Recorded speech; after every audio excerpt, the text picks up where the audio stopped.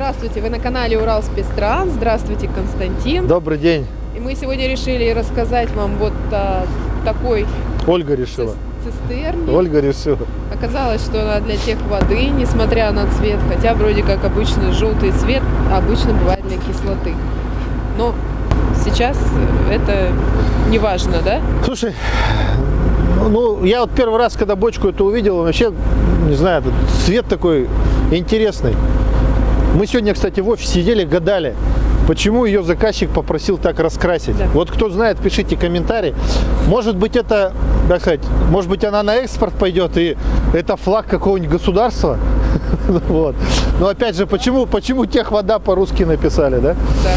Вот. Ну не знаю, такой цвет спорный. Мы сначала думали, что это, это под Роснефть, но у Роснефти, по-моему, черный, черный, желтый и белый. И белый, по-моему. А здесь вот, видишь, что это, красный, да? Вот. Ну, э, да.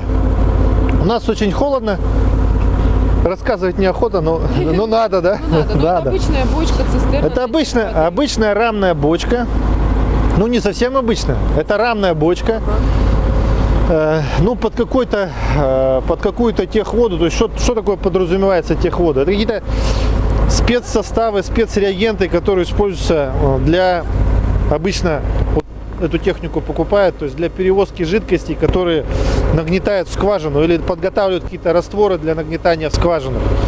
То есть скважину бурят там, я, я всей технологии не знаю, но как я понимаю, чтобы она там не обвалилась, ничего там ее цементируют, там всякую химию туда закачивают. Лежит на ложементах. Вот смотри, сделали наши подкладки резиновые, наконец-то. Да, то есть, чтобы не лента терлась, а лента терлась. Слушай, вы сейчас поедете, да? А, не поедете, они только приехали. Да, то есть вот, э, чтобы трение происходило не э, цистерна лента, а цистерна прокладка лента. То есть она уже краску не будет сдирать. Вот на первых наших бочках там, да, проблема была с подкладкой. Делали лента по железу. Через какое-то время все равно красочка лопалась, терлась, ржавчинка появлялась. Это обычный наливник, насоса здесь нет. Можно рассказать про подвеску, опять же, это э, немецкая БПВшная подвеска. Кто-то меня сильно раскритиковал, что я колпачок показал. Ну, господа, не, не знаю, не нравится, не смотрите там. Ну, как-то я снимал, говорю, вот смотрите, да, помнишь? Да, ну колпачок это временный, технологический, вообще без них можно ездить. Я еще раз его сниму, чтобы того товарища позлить. Может, просто показал. Приходит так, чтобы это технологические колпачки, они потом снимаются.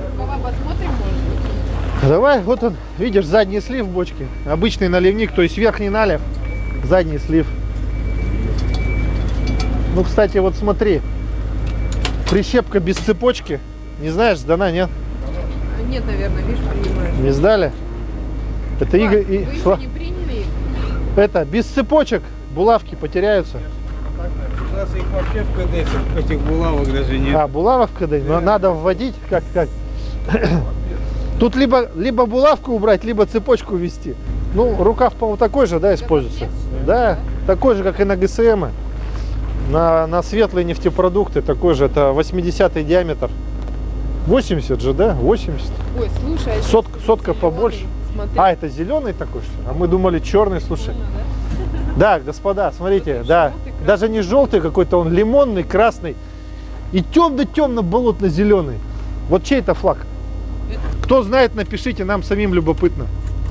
Почему такой цвет заказывают? Честно, не знаем. Опять же, если на окраске акцентировать внимание, он заказал эту покраску, он за эту покраску переплатил. Ну, насколько она ему нужна? Почему переплатил? Потому что каждый слой красится отдельно. То есть надо покрасить сначала один слой, просушить его, потом закрыть ту поверхность, которую покрасили, покрасить следующую, опять просушить. То есть э, удорожание идет большое именно за использование покрасочной камеры.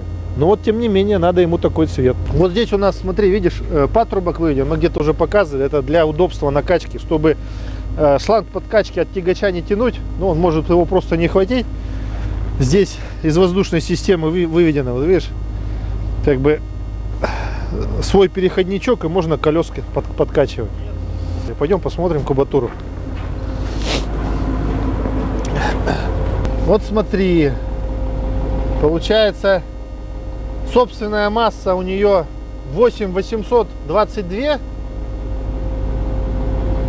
а, а допустимая масса 30 стоит. Что получается у нас? 20, 21 тонна. Это перевозимый груз, масса груза. А по губатуре тут э, кубов 17. То есть это бочка для перевозки жидкости плотностью выше единицы. Надо Славу спросить. Слав, а не помнишь, сколько тут кубов? 17. Ну вот я прав. То есть 17 кубов. Да, кубов 17. То есть это именно воз- возить какие-то, может, солевые растворы. Точно? Я вспомнил, надо внутрь лезть. Да? Да, там еще, там еще покрытие специальное внутри. Да Там специальное э, химостойкое покрытие, полак. Полезли.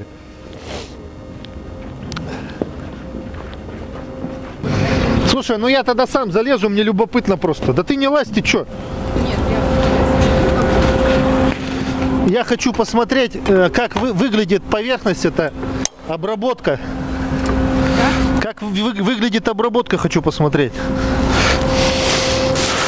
Слушай, тут не видно ни черта, но воняет изнутри здорово. Да, то есть э, ос- остаточный эффект еще есть от состава. Ну, то есть чем-то типа растворителя пахнет. То есть, видимо, покрытие это на все равно на основе какого-то растворителя присутствует запах, а ничего не видно. Ладно, поверьте нам на слово. То есть бочки изнутри обработаны составом, называется он в данном случае палак, но э, составов существует большое множество разных. Есть, конечно, минус. Будет лазить, ну,